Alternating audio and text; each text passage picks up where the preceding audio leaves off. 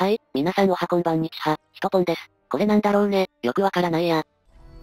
はい、というわけで今回紹介するのは新メトラ。こいつちょくちょく強化なのか弱体化なのかよくわかりませんが、今回は明らかな強化でしょうね。スキルの大幅な変更、アルティメットスキルの変更、武器の使用変更、似たようで全く別のキャラって考えでいいかもしれません。食料もサポートからディフェンス。っていうよりダメージですね。今回からオフェンスとディフェンスが一括りにされてダメージっていう役割になってるんですよね。サポートとタンクは変わらず、まずは新メトラの遠距離攻撃。弾速が上がり、チャージ速度も上がっています。いや、それは後でいいか。それじゃ新メトラのビーム、地味に射程が伸びて大体10メートルになってますね。元はダメージが30、60、120だったのが60、120、180に変わっています。その代わりダメージが上がる速度が遅くなってはいますね。ダメージが下がる速度も長くなっていますが、それと見てもらえればわかると思うけどビームがまっすぐになって、敵を推奨しなくなりました。正直めちゃくちゃエイムが必要なキャラになりましたね。っていうかテストサーバーなのか武器が普通になってるのが気に食わない。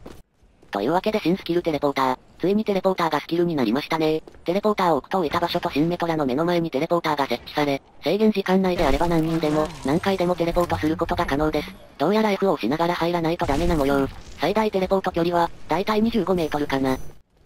最後のスキル、セントリータレット。まあ新メトラがうざったいキャラの一つの要因ですよね。これ、移動速度低下がなければいいのにな。まあそれが新メトラらしいんだが、というわけで新メトラのセントリータレット、飛ばせます。ちなみにシフトを押した時点でまっすぐ飛んでいくので注意が必要ですね。置ける数が半分になりましたがタレット自体の体力が30に増加。下手な攻撃じゃ一発じゃ壊せないというね。あとちゃっかりダメージと減速効果が上がってます。数は減ったといえ効果は変わらないという考えでいいでしょう。はい、シンメトラのアルティメットスキル、光子障壁です。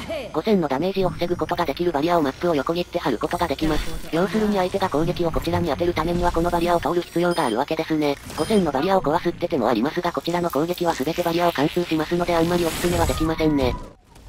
忘れてた、シンメトラの遠距離攻撃ね。敵を貫通することはなくなりましたが、弾速、チャージ速度が上昇。その代わり着弾した場所で爆発、周りにもダメージを与えるようになりました。敵が固まっている時とかに有効ですね。ダメージはだいたい60ぐらい、そして爆発もほぼ中心線で60、離れていくとダメージが減っていく感じです。まあこんな感じでしょうか。サポートじゃなくなったことで自重しなくなってますねこいつ。テレポートで味方の通るビョンやバステオンを本来行けない場所に運んだりね。味方をカバーするシールドをなくした代わりにキル性能が上がっています。最大ダメージだとタンク以外は簡単に倒せるんじゃないでしょうか。まあ最大ダメージに上げるのが大変なんですけどね。というわけで今回は新メトラの紹介動画でした。本当なら昨日投稿する予定だったんですけどね。色々疲れてて1日投稿できませんでした。生放送はやる元気はあるんだけどな。